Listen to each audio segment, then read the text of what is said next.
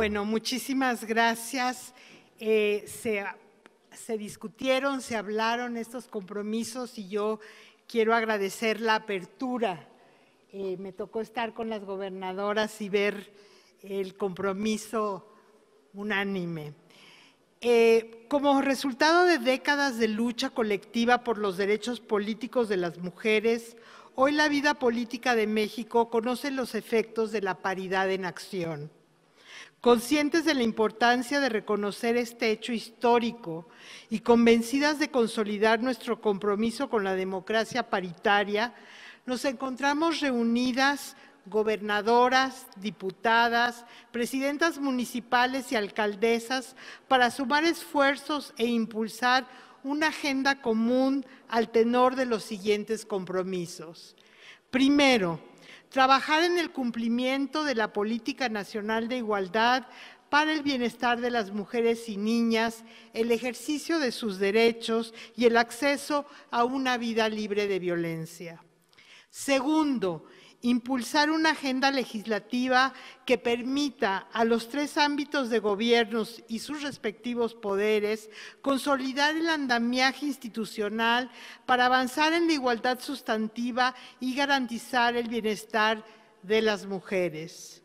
Tercero, promover acciones estratégicas de cambio cultural para la participación efectiva e igualitaria de las mujeres en la toma de decisiones en los ámbitos político, social, comunitario y privado, bajo los principios de interseccionalidad, inclusión y respeto a la diversidad. Cuarto, promover el aumento y la sostenibilidad de recursos públicos con perspectiva de género para implementación de las políticas públicas para la igualdad. Como representantes del, este cuarto fue agregado por las diputadas, es una propuesta de las diputadas. Como representantes del pueblo de México, reconocemos que la construcción de la democracia solo es posible si todas participamos en las decisiones públicas en condiciones de igualdad y no discriminación. En virtud de ello, nos comprometemos a impulsar desde el ámbito de nuestras respectivas competencias, el fortalecimiento de los mecanismos para el adelanto de las mujeres en el, en el ámbito estatal y municipal, asignaciones presupuestales específicas, acciones afirmativas, campañas de cambio cultural, reformas legales y políticas públicas que atiendan de manera articulada y enérgica los problemas más urgentes como son todas las formas de violencia, la sobrecarga de cuidados y trabajos del hogar y la autonomía económica, atendiendo de manera prioritaria las necesidades de las mujeres y niñas indígenas, afromexicanas, a las mujeres con discapacidad, a las mujeres migrantes y de la diversidad sexual, y así garantizar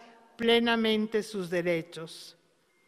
Para construir un país con bienestar es menester que trabajamos unidas para lograr y defender los derechos que nos pertenecen y hacer frente a todas las desigualdades que nos afectan.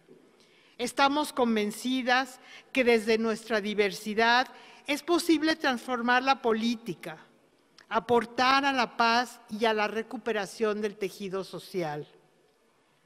En memoria de las mujeres que nos antecedieron y por el futuro de las mujeres jóvenes y niñas de nuestro país, hacemos un llamado a trabajar en un frente común contra la injusticia, la discriminación, las desigualdades y nos pronunciamos a favor de construir alianzas estrategias que aceleren el camino hacia la igualdad sustantiva entre mujeres y hombres en todos los ámbitos de la vida. Del Complejo Cultural Los Pinos, Ciudad de México, 26 de agosto de 2021. Les pido que las que estén de acuerdo y se comprometan alcen la mano para que podamos decir aquí estuvimos y sus carteles que veo que hicieron. Muchísimas gracias. Estamos en un momento histórico con compromisos muy importantes. Ahora sí, felicidades.